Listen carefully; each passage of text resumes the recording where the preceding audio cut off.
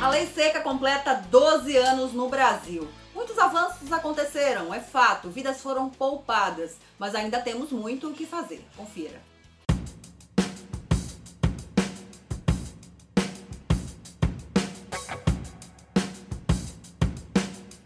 Um dos marcos legais de enfrentamento e controle dos acidentes de trânsito no Brasil, a chamada Lei Seca, completa 12 anos. Reconhecida como uma das legislações mais rigorosas em vigor no mundo, a lei foi responsável por poupar mais de 40 mil vidas entre 2008 e 2016, segundo estudo da Escola Nacional de Seguros.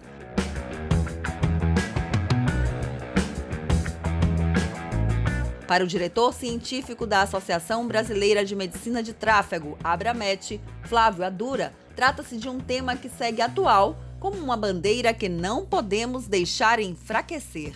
Segundo o médico, o consumo de álcool por motoristas ainda é alto e há muito a ser feito para uma aplicação ainda mais firme da legislação.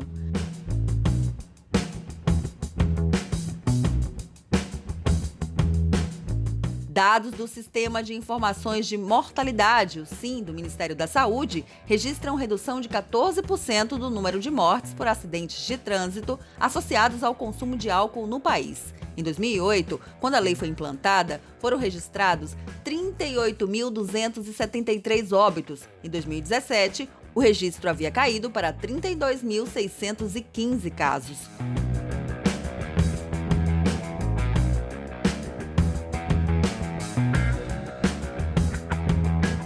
Os números mostram a força e a importância dessa legislação. Também evidenciam a mudança na conduta do motorista, uma nova mentalidade que ainda estamos construindo no Brasil, segundo a Abramet. A entidade participou ativamente e contribui decisivamente para a aprovação da lei seca pelo Congresso Nacional.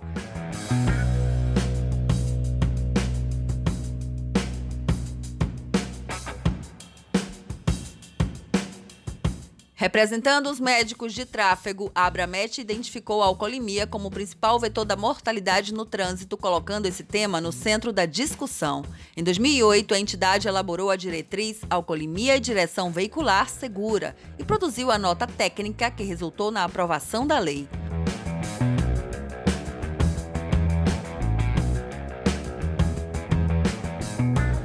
Qualquer quantidade de ingestão alcoólica pode prejudicar a direção veicular e a segurança de trânsito. O álcool afeta negativamente essa segurança em três aspectos: sobrevivência, performance e comportamento. A lei seca é considerada um dos mais importantes instrumentos brasileiros para reduzir a violência nas ruas e estradas do país, ao estabelecer penas severas para os motoristas flagrados alcoolizados.